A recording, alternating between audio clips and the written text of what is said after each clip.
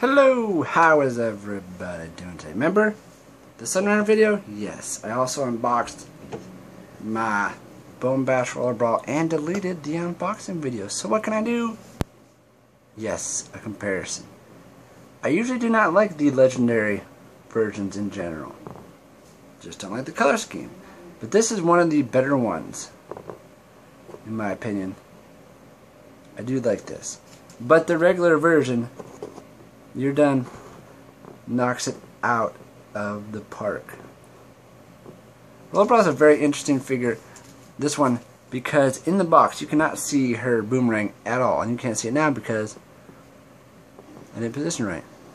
You can't see it at all, so you don't know what color. I mean, you can kind of see it, but it looks so much better out of the box. Love the pink and the boomerang. Love her pink braid. And something else that's cool, of course it's on both figures, but it looks better in the bone skull color. Her helmet looks, I don't have the Tomb Buggy, looks pretty similar to what the front of the Tomb Buggy looks like. Know in the comments below, do you prefer the normal version or the legendary? I love the normal version. This is probably my favorite version, even with the Swap Force version. I like how she looks.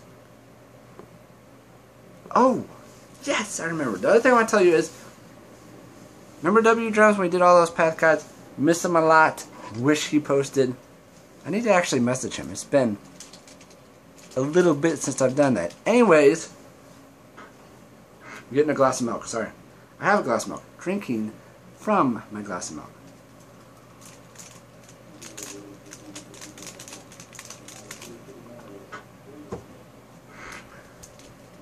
You will see a path guide.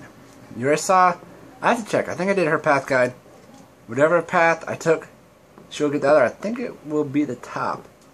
You will see a path guide. W. Jones was the king of path guides. Whenever I needed a path to know what it did, I watched his video.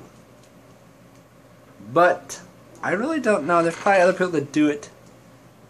I'm still doing path guides, so if you need a place to look at those paths up, I will do them. Actually, Thrillipede I will be doing really soon because I have his money. And then in the not too distant future you will see her path. Like I said, look them up. Last couple games. I didn't do them before the last couple games, but I have since to kind of fill that void. I just thought it was weird her. Looks like she has one eye. I kind of wish the hair wasn't there and you could see her eye. Alright, that's it. Just want to remind you about those path guides, W drums. Where are you? That's it. Audio.